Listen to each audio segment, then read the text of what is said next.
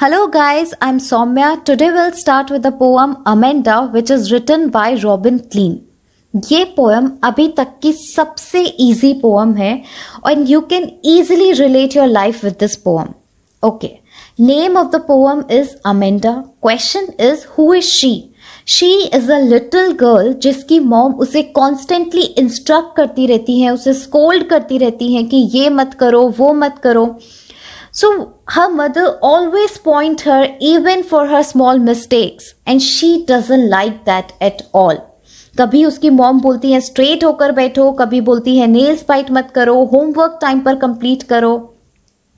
और इन सब चीज़ों पर अमेंडा का क्या रिएक्शन होता है? नथिंग जब भी उसकी मॉम कुछ बोल रही होती है तो वो बस डे ड्रीमिंग कर रही होती है, वो बस इमेजिन कर रही होती है कभी कुछ कभी कुछ, कि अगर मैं मर्मेड होती तो फ्रीली स्विम कर रही होती, अगर फेरी होती, कोई ब्यूटीफुल सी फेरी होती तो मेरा एक ब्यूटीफुल सा टार होता और मैं उसमें पीसफुली आराम से रह रही होती। या फिर अगर मैं ऑफन होती तो मेरे पास फ्रीडम होती और मैं आराम से सड़कों पर घूम रही होती। सो so, अब जब उसकी मॉम उसे हर चीज़ पर इंस्ट्रक्ट कर रही हैं या फिर डांट रही हैं कि चॉकलेट्स मत खाओ शूज़ क्लीन करो तो वो अपनी फ्रीडम को मिस कर रही है। आई गेस इस पोम से आप सब खुद को कहीं ना कहीं तो रिलेट कर पा रहे होंगे क्योंकि ऐसी बहुत सी चीज़ें होती हैं आप लोगों की एज में जो आप सब करना चाहते हैं पर कर नहीं पाते। Don't bite your nails, Amanda. Don't hunch your shoulders, Amanda. Stop that slouching and sit up straight, Amanda. अब देखिए यहाँ उसकी मॉम उसको ये सब बोल रही हैं और यहाँ उसका रिएक्शन है इस पोअम में फोर स्टेंजाज हैं और इन चारों स्टेंजाज में आप ये ही देखोगे कि इन लाइंस में वो मिस्टेक्स पॉइंट आउट करेंगी और इन लाइंस में अमेंडा कुछ और ही सोच रही होगी या फिर कुछ इमेजिन कर रही होगी so let's start don't bite your nails bite your nails means नाखून चबाना hunch hunch is bending your shoulders slouch is sitting lazily lazy way में बैठना तो यहाँ उसकी मॉम अमेंडा की मॉम इंस्ट्रक्ट कर रही है that don't bite your nails अपने नाखून मत चबाओ Amanda don't hunch your shoulders मतलब कि झुक कर अपने शोल्डर्स को झुकाकर मत बैठो Amanda stop that slouching and set up straight set up straight means सीधे होकर बैठो. स्टॉप दैट स्लाउचिंग मतलब झुक कर लेजी वे में मत बैठो, सीधे होकर बैठो अमेंडा तो यहाँ पर उसकी मॉम इसको इंस्ट्रक्ट कर रही है कि अपने नेल्स बाइट मत करो so what is happening here Amanda has a habit of biting her nails, sitting lazily, and her mother is pointing out her mistakes कि तुम ये गलतियाँ करती हो तुम नाखून चबाती हो तुम सीधे होकर नहीं बैठती हो So when her mother is scolding her, what she is doing? This is her reaction उसकी मॉम उसको ये सब बोल रही है और उसका क्या रिएक्शन है? शी इज़ इमेजिनिंग समथिंग वो कुछ और ही इमेजिन कर रही है। And what she is doing there is a language emerald sea where the sole inhabitant is me a mermaid drifting blissfully यहाँ उसकी मॉम उसको ये सब बोल रही है और वो एक अलग इमेजिनेशन में है। वो किस इमेजिनेशन में है? वो अपने आप को एक मोमेड सोच रही है। और वो अपने आप को कहाँ इमेजिन कर रही है? She is imagining that she is a mermaid right and she is in a language emerald sea मतलब she is in a very relaxed green sea So what she is imagining that she is a mermaid who is swimming happily in a green sea. Where the sole inhabitant is me where the sole inhabitant is me which means where the single resident is she only वहाँ पर और कोई नहीं है सिर्फ़ वही है वो एक ग्रीन सी में है एक मर्मेड है और वहाँ पर कोई नहीं है वो बहुत रिलैक्स्ड है वो अपनी फ्रीडम को फील कर रही है वो बहुत खुश है वहाँ पर जॉयफुल फील कर रही है So, what is happening here in this whole stanza? Her mother is giving instructions to her, right? She is scolding her as she wants her child to be perfect. So, she wants to put some sense in her कि bite mat karo, ye mat karo, wo mat karo. She is also getting frustrated at her. But Amanda wants to escape from this whole world as she doesn't like to get scolded by her mother right so she is imagining herself as a mermaid as a jalpari who is very happy and full of freedom Did you finish your homework, Amanda? Did you tidy your room, Amanda? I thought I told you to clean your shoes, Amanda. अब देखो पहले stanza में Amanda के आगे exclamation mark था मतलब उसकी mom उससे सिर्फ़ इंस्ट्रक्ट कर रही थी. But now there is question mark which shows that now she is getting frustrated वो इरिटेट हो रही है, वो फ्रस्ट्रेट हो रही है. So now what she is saying her mother is inquiring her whether she has finished her homework or not. उसने अपना रूम क्लीन किया है कि नहीं? I thought I told you to clean your shoes मुझे, मैंने मुझे लगता है, मैंने तुम्हें अभी कहा था कि तुम अपने शूज़ क्लीन करो। तो क्या तुमने शूज़ क्लीन किए? क्या तुमने रूम क्लीन किया? क्या तुमने होमवर्क किया? ये सब वो बहुत ही फ्रस्ट्रेशन बहुत ही गुस्से में बोल रही हैं। But now Amanda is not listening to her and she is imagining herself as an orphan. Orphan कौन होता है? अनाथ the one who doesn't have parents so so, यहाँ पर क्या हो रहा है? उसकी मॉम उसको इतने गुस्से में उससे बात कर रही है कि तुमने ये नहीं किया वो नहीं किया और वो एक अलग ही दुनिया में है। वो कुछ और ही सोच रही है। If I am an orphan roaming the street I pattern soft dust with my hushed bare feet the silence is golden the freedom is sweet so I am an orphan so यहाँ वो क्या imagine करिए that she is imagining herself as an orphan the one who doesn't have parents, child with no parents. Roaming the street. Roaming the street means she is walking freely on the streets with no instructions of her mother and she is not even missing her parents.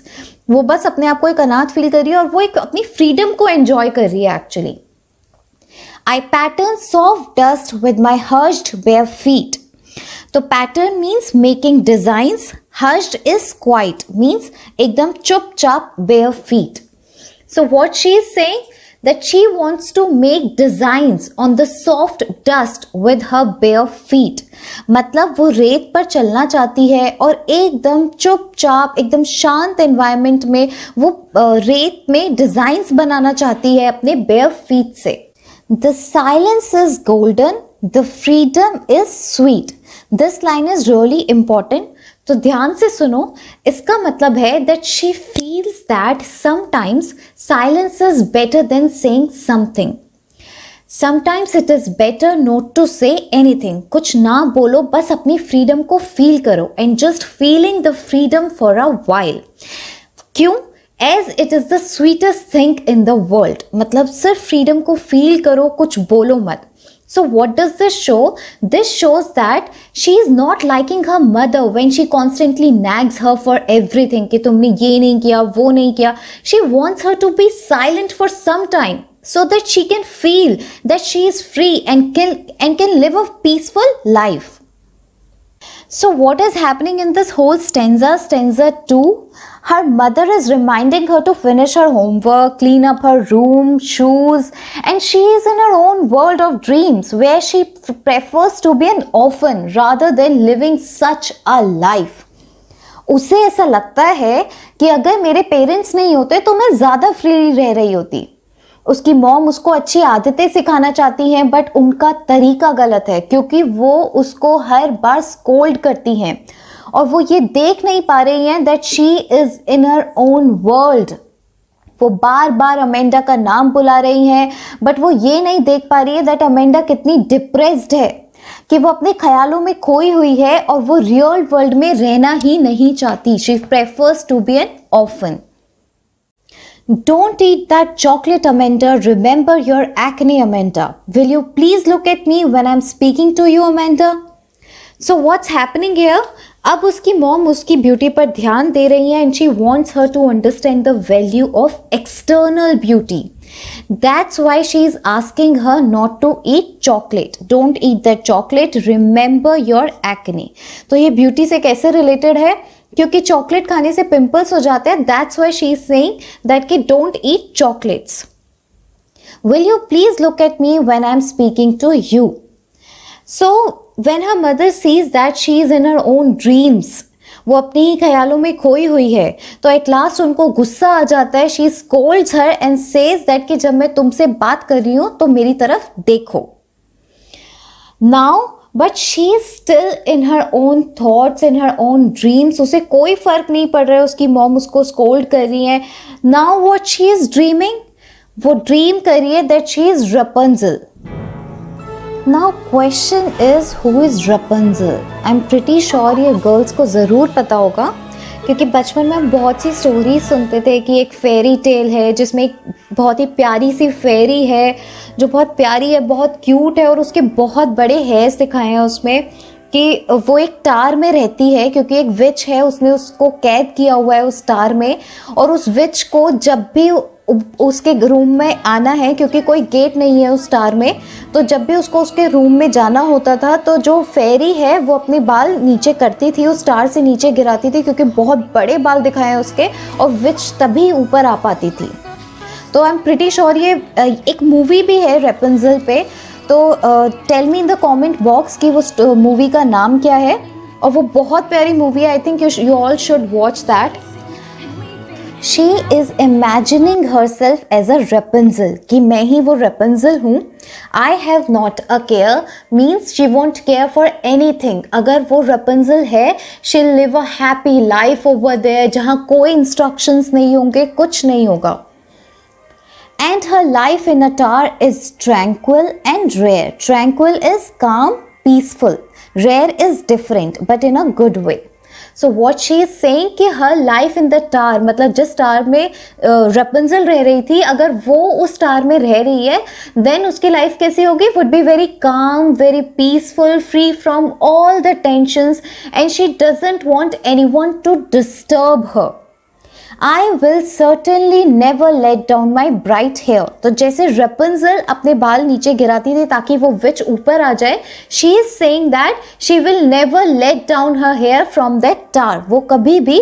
नीचे नहीं गिराएगी अपने बाल क्यों because she doesn't want anyone to disturb her see this is the last para Stop that sulking at once, Amanda. You are always so moody, Amanda. Anyone would think that I nagged at you, Amanda.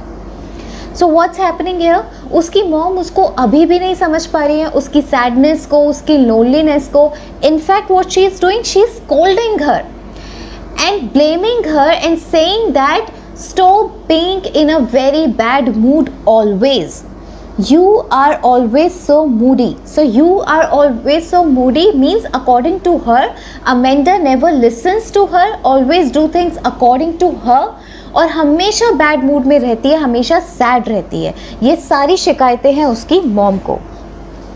Anyone would think that I nagged at you so यहाँ इसका मतलब है and then she is saying that if people will see if people will see her Amanda को अगर देखेंगे in this mood then they will think that her mother always scold her कि हमेशा उसको, कि anyone would think that I nagged at you कि लोग क्या सोचेंगे उनको उस चीज़ की ज़्यादा परवाह है। तो दिल थिंक दैट उसकी जो मॉम है उसको स्कोल्ड करती हैं उसको हरास करती हैं। सो so, इस पूरे स्टें इस स्टेंजा से या बाकी सारे स्टेंजा से हम ये चीज़ बोल सकते हैं that in short we can say that Amanda की मॉम उससे बिल्कुल भी नहीं समझ पा रही हैं और अगर अमेंडा इमोशनल भी होती है तो वो उसे उस पर भी डांट देती हैं। So with all with this poem we can say that children need to allow more freedom उनको ज़्यादा फ्रीडम मिलनी चाहिए। अदरवाइज़ दिल स्टार्ट डिसलाइकिंग देयर पेरेंट्स क्योंकि एक टाइम ऐसा भी आया था जब अमेंडा ये सोच रही थी कि काश वो ऑर्फन होती। तो इससे बुरी चीज़ क्या हो सकती है? So these are the things which we can learn from this poem